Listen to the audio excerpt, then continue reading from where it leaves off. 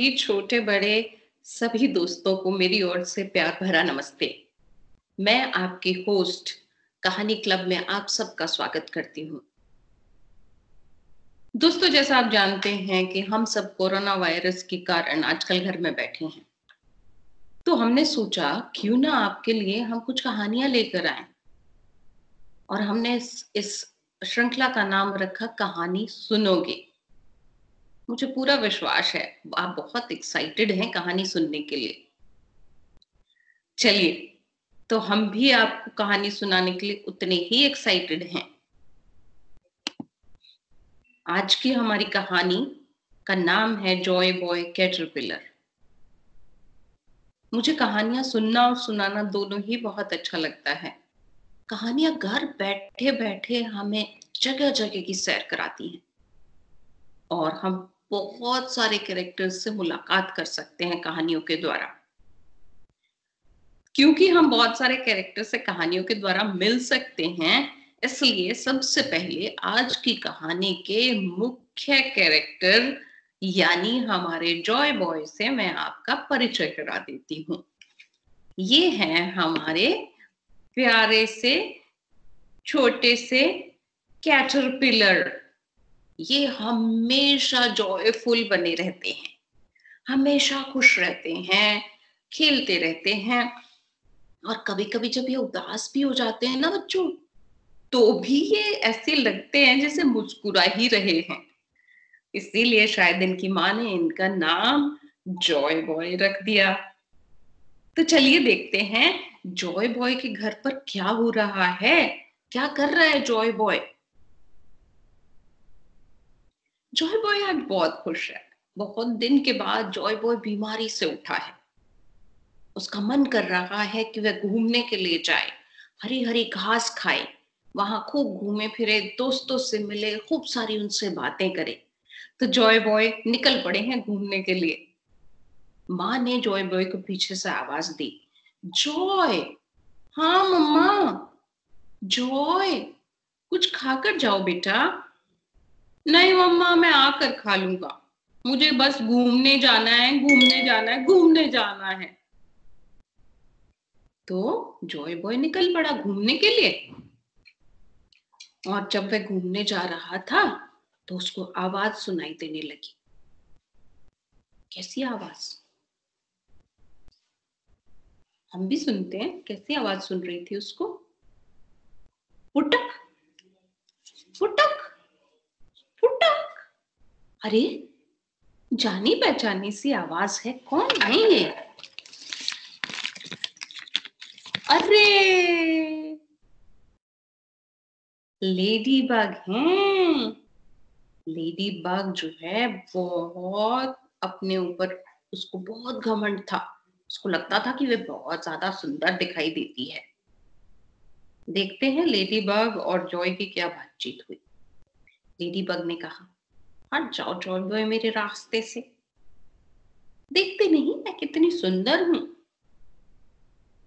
मेरे लाल लाल कोट पर काले काले डॉट बहुत सुंदर दिखते हैं। और जॉय तुम कितने हरे दिखते हो। एक ही रंग है बस तुम्हारे पास। हटो मेरे रास्ते से। मुझे थोड़ा शॉपिंग के लिए जाना है। ऐसा बोलकर लेडी बग वहाँ से चली गई। और जॉय बॉय यह सुनकर बहुत ज़्यादा सैड हो गया। जॉय बॉय सैड होकर के हरी घास में छिप कर बैठ गया। उसको बहुत दुख लग रहा था कि लेडी बग ने उसे ऐसा क्यों कहा? क्या वह इतना बुरा दिखता है? ऐसा सोच ही रहा था जॉय बॉय कि अचानक उसको फिर से एक आवाज़ सुनाई दी। और ये आवाज़ सुनकर जॉय बॉय बहुत खुश हो गया। क्यों? क्योंकि ये तो उसके बचपन के दोस्त की आवाज़ थी। कैसी आवाज़ थी?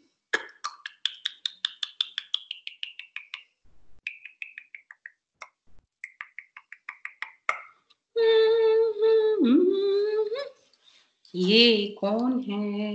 ये तो जॉय बॉय का दोस्त है स्नेल ये दोनों बचपन से एक साथ रहते हैं, एक साथ खेलते हैं और खूब मस्ती करते हैं। स्नेल हमेशा जब भी चलता है तो गाना गाते हुए चलता है। कैसे?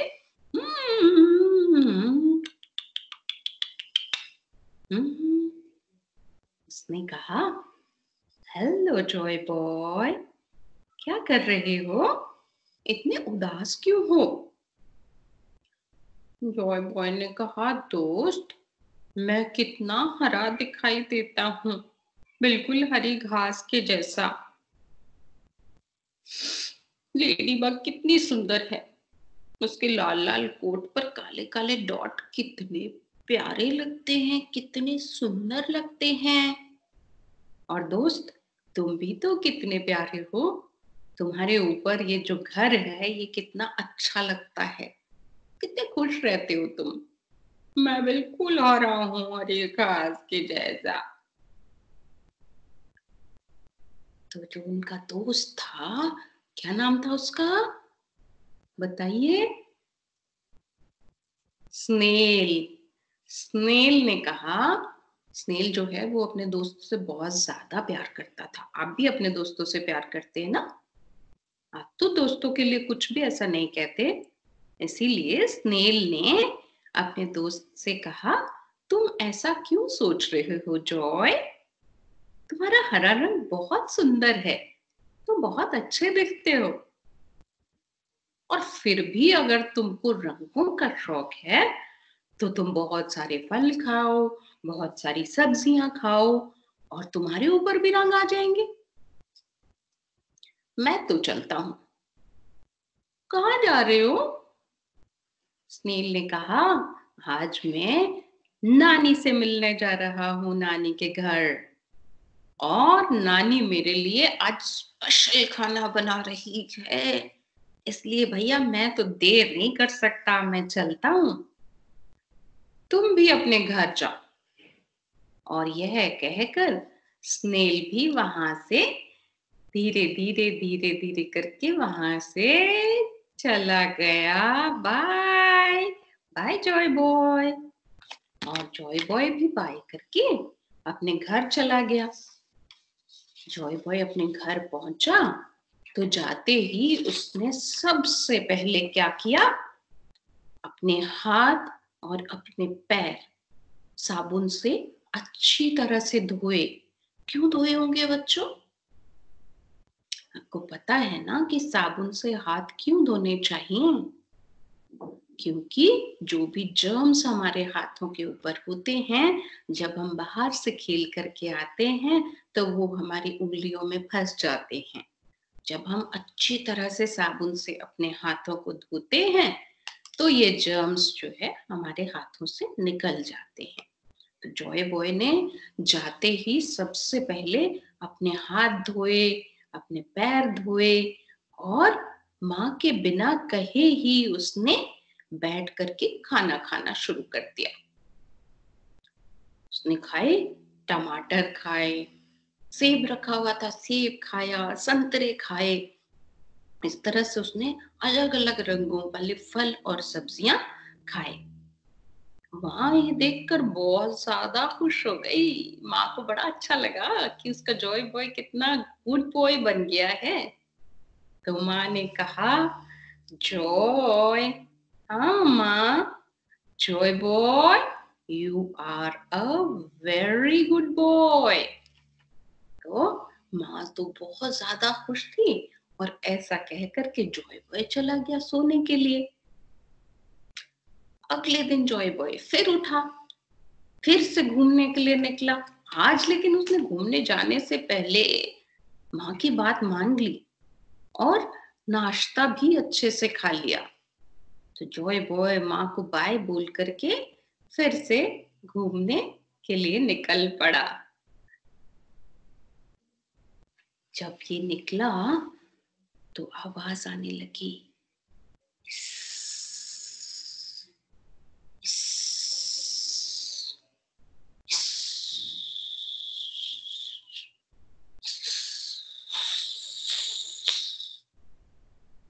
वो थोड़ा सा डर गया।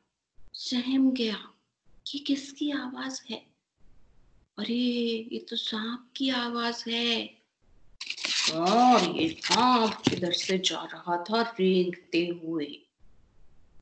से गुस्से में भरा हुआ सांप। अरे, कौन हो तुम? हटो मेरे रास्ते से। देखते नहीं हो मुझे? वैसे भी बहुत गुस्सा आ रहा है। तुम कितने हरे और कमज़ोर हो। हट जाओ इधर से, मुझे जाना है। और ऐसा कहते हुए गुस्से से सांप वहाँ से डांट करके जॉय बॉय को वहाँ से घास में धीरे धीरे चला गया। हमारा प्यारा जॉय बॉय, बेचारा, उसको फिर से आज हरा और कमज़ोर बोल दिया। उसको बहुत दुख हुआ।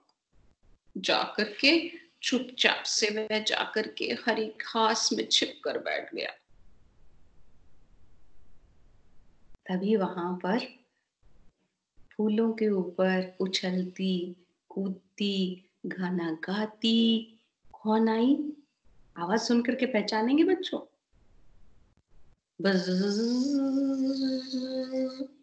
बस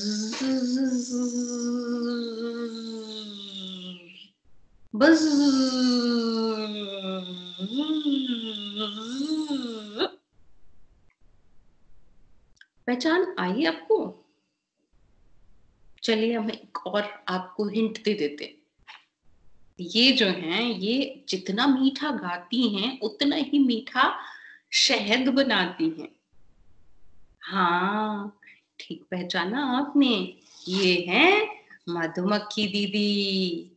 और ये दिखती जितनी प्यारी हैं, गाती भी उतना ही सुंदर हैं। और जॉय बॉय के साथ में ये बहुत अच्छी अच्छी बातें करती हैं, हमेशा जब भी मिलती हैं। तो जॉय बॉय ने कहा, हेलो मधुमक्खी दीदी। अरे जॉय बॉय तुम यहाँ क्या कर रहे हो छिपकर घास में? और तुम इतने उदास दिख रहे हो, इतने परेशान दिख रहे हो। क्या हुआ? बताओ तो। मुझे तो बताओ। मुझे प्लीज़ बताओ। तो जॉय बॉय ने कहा, मधुमक्खी दीदी मधुमक्खी दीदी, तुम कितनी अच्छी दिखाई देती हो, कितनी सुंदर दिखती हो। कितना प्यारा आप गाती भी हो मधुमक्खी दीदी। और मैं एकदम हरा, हरी घास के जैसा गाना भी नहीं आता मुझे। और दीदी, आप तो उड़ भी सकती हो। मैं तो उड़ भी नहीं सकता। मधुमक्खी दीदी कहने लगी, अरे जॉय बॉय तुम कितने प्यारे हो, कितने सुंदर हो। ऐसा क्यों सोचते हो? और अगर तुमको उड़ना है, तुमको बहुत सारे रंग चाहिए तो मेरी एक बात मानोगे? हाँ हाँ बोलो दीदी, बोलो। आप जो कहोगी, मैं वो सारी की सारी बातें मानूँगा।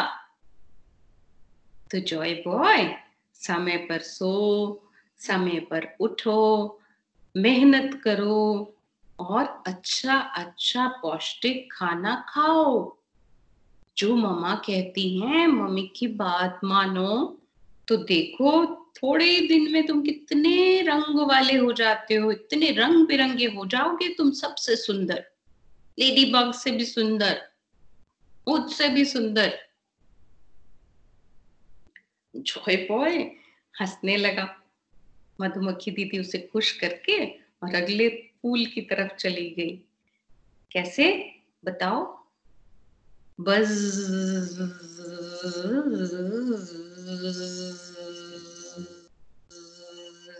करते हुए मधुमक्खी दीदी अपने काम पर लग गई। हमेशा मेहनत करती रहती थी, हमेशा काम करती रहती थी। अब जॉय बॉय मुस्कुराया, पूरा अच्छी तरह से मुस्कुराने लगा, क्योंकि उसे समझ आ गया था कि अब उसको क्या करना है। तो जाते ही आपको तो पता है उसने क्या किया होगा। उसने जाते ही अपने हाथ अच्छे से धोए और फिर उसने अच्छे से खाना खाया। माँ ने टमाटर, गाजर, मूली सबका काट करके एक अच्छा सा सलाद बनाया था। तो बढ़िया से मेज पर बैठ गया हमारा जॉय बॉय और उसने ऐसे आराम आराम से सारी चीज़ें बड़े प्यार से खाई। फिर उसने बोला, मम्मा, गुड नाइट। मैं अब सोने जा रहा हूँ। माँ को गुड नाइट बोला और अपने कमरे में जाने लगा। माँ ने उसे क्या कहा पता है? Joy Boy you are a very good boy जब भी माँ खुश होती है तो हमेशा क्या बोलती है? गुड बॉय या गुड गर्ल तो जॉय बॉय को भी माँ ने क्या कहा? Joy Boy are becoming a very good boy I am so proud of you तुम कितने अच्छे बच्चे बन गए हो। ऐसा सुनकर जॉय बॉय और ज़्यादा खुश हो गया और अपने कमरे में चला गया। जाते ही बच्चों उसने अपने दोनों धागे खींचे और धागे खींच करके वो अंदर की ओर चला गया। और अंदर की ओर जाते ही उसको बहुत जोरों की नींद आने लगी थी। हम्म कई दिन से वो अच्छी तरह से सोया नहीं था। और गहरी नींद में सो गया। बहुत ही गहरी नींद में। सोते सोते जॉय बॉय को 21 दिन बीत गए। 21 दिन बाद उसकी नींद खुली। जॉय बॉय ने कहा उसने अपने आप को स्ट्रेच किया। कहा, अरे, मैं कितना फ्रेश फील कर रहा हूँ। कितना अच्छा लग रहा है आज। देखता हूँ बाहर जाकर के कैसा लगता है। और वो उठने लगा तो एकदम हैरान। उसको बहुत हैरानी हुई। क्यों हैरान हो गया था बच्चों को पता है? आप भी हैरान हो जाओगे सुन करके मुझे पक्का पता है। जैसे ही उसने अपने आप को स्ट्रेच किया तो जॉय बॉय ने देखा कि उसकी पंख निकल आए थे। तितली बन गया था, वो उड़ने लगा था ऐसे आसमान में। अब जॉय बॉय को लगा कि मैं खुद को देख कर के आऊँ कि मेरे पंख भी हरे निकले हैं, क्या मैं अभी भी वैसा ही हरा हूँ? या दीदी ने बोला था, सादा खाना अच्छे से खाओगे तो तुम्हारे रंग निकल आएँगे। देखना चाहता था, उसको बहुत मन कर रहा था कि जल्दी से जाकर के अपने आप को कहीं पर देखे। तो उसके दिमाग में एक आइडिया आया। उसने सोचा कि जो सामने तालाब है, मैं उसमें जाता हूँ। उसका पानी एकदम साफ़ और नीला है। जब मैं उसके ऊपर उड़ूँगा तो मेरे पंखों के रंग दिखाई देंगे। अब हमारे जॉय बॉय उड़ते उड़ते तालाब के ऊपर पहुँचे। और जाकर के क्या देखते हैं कि उनके बहुत सुंदर पंख निकले थे। नीले, पीले और सुनहरे रंग के पंख निकल आए थे जॉय बॉय के। देख रहे हैं आप कितने सुंदर हो गए हमारे जॉय बॉय तो जॉय बॉय जो है, वहाँ पर चला गया। उसने देखा नीले पीले सुनहरे रंग के, उसके पंखों के रंग कितने प्यारे और कितने सुंदर लग रहे हैं। बच्चों, जब उसने खुद को ऐसे देखा तो वह गाना गाने लगा, नाचने लगा, खूब खुशियाँ मनाने लगा। उसने क्या गाना गाया? उसने गाना गाया, मैं हूँ जॉय बॉय मामा का गुड बॉय मैं हूँ जॉय बॉय अपनी मम्मा का गुड बॉय मैं एक सुंदर तितली हूँ, मैं एक सुंदर तितली हूँ. रंग बिरंगे पंख है मेरे, रंग बिरंगे पंख है मेरे. नीले, पीले और सुनहरे।